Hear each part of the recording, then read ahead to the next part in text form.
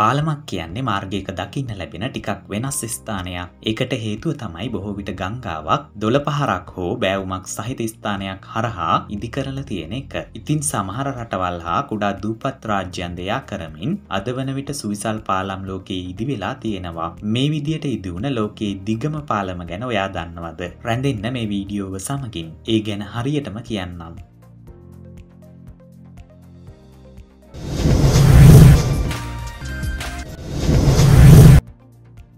මේ සුවිශේෂී ගුවන් පාලම ඉදි කරලා තියෙන්නේ චීනයේ සුහායි සිට හොන්කොන් සහ මැකව් යා කරමින් මෙහි ඉදිකිරීම් කටයුතු දෙදහස් නමය වසරේදී ආරම්භ කරලා වසර නමයක කාලයක් තිස්සේ ඉදිකිරීම් කටයුතු සිදු කරලා දෙදස් දහට වසරේදී ජනතා අයිතියට පත් කරලා තියෙනවා. මෙය කිලෝමීටර් පනස් පහක් එහෙම නැත්නම් සැතපුම් තිස් හතරක දිගකින් යුක්තයි. මෙහි ඉදිකිරීම් සඳහා ඩොල මිලියන විස්සක් පමණ වැෑවී ඇති බවත් සඳහන් වෙනවා. ඉදිකිරීම් කටයුතු අතරතුර කම්කරුවන් දහට දෙනෙකු මියයාමත් කනගාටුවට කරුණක් චීනය විසින් මෙහි ඉදිකිරීම් සඳහා වූ අපේක්ෂාවන් අතර කෘතිීම නගර නමයක් නිර්මාණය සඳහා වන සැලස්මක් ද ඇති බවයි සඳහන් වෙන්නේ. මේ පාලමිදි කිරීමට පෙර චීනය හා හොන්කොන් අතර ගමන් කිරීම සඳහා පැය හතරහමාරක් ගත වී තිබුණා. නමුත් මේ අපුරු ගුවන් පාලම නිසා දැන් දැන්නේ සඳහා විනාඩි හතලිස් පහකට ආසන කාලයක් පමණයි වැය වෙන්නේ. දකුණු චීනයේ ප්‍රධාන වෙරළබඩ නගර තුන වන මැකව් හොංකොන් සහ සුහයි යන නගර හරහා යන මෙම ගුවන් පාලම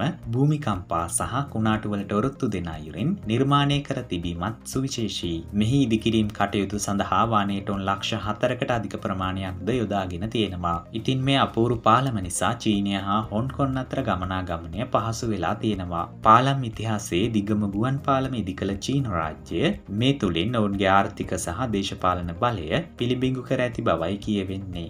මෙහි ඉදිකිරීම් ගැන විවිධ මත පල වනත් මේ සුවිශේෂී නිර්මාණය සැබවින් වගේ කළ යුතුයි.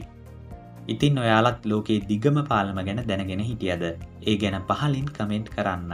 වීඩියෝ එක හොඳයි නම් ලයික් කරන්න ඔයා කැමති නම් තව කෙනෙක්ට බලන්න ෂයා කරන්න. එහෙම නම් අදට සමුගෙන යනවා. තවත් දවසක මේ වගේ අපූරු වීඩියෝවකින් ඉක්මනින්ම මුණ ගැසෙමු. ඔයාලට සුබ දවසක්.